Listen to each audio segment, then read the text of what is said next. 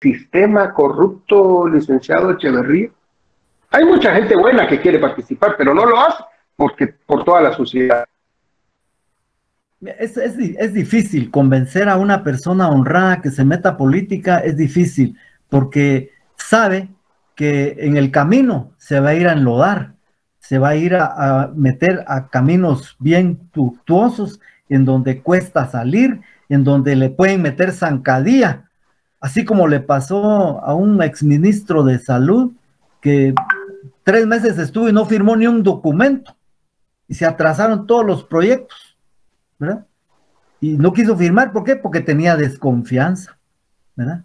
¿Y desconfianza por qué? Porque, porque hay mafia en todos lados, pues, que le pueden meter zancadilla a uno. Entonces, yo creo que la persona para que se motive a participar, en primer lugar tendríamos que hacer cambios, cambios. E, este gobierno, si quiere dejar un buen recuerdo, debería de propiciar, en primer lugar, que ya se elijan a los nuevos magistrados de la Corte.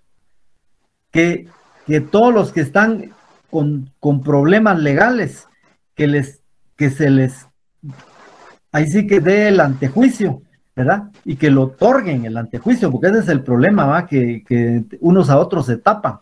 Entonces no hay antejuicio.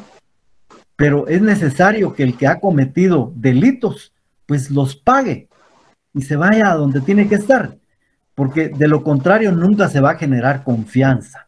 La confianza eh, en, el país a, los buenos guatemaltecos para participar en política.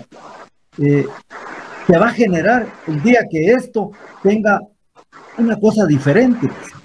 Miren, yo por ejemplo vivo aquí en Saltenango y salgo a montar bicicleta. Es, es triste ver que Saltenango lleno de basura. Los ríos llenos de colchones y botes de aceite a la chucha. Y nadie, nadie dice nada. Ninguna autoridad castiga. O sea, es necesario crear leyes que verdaderamente castiguen todo ese daño que se está haciendo ecológico. Y empezar tal vez por ahí, empezar por, por castigar y, y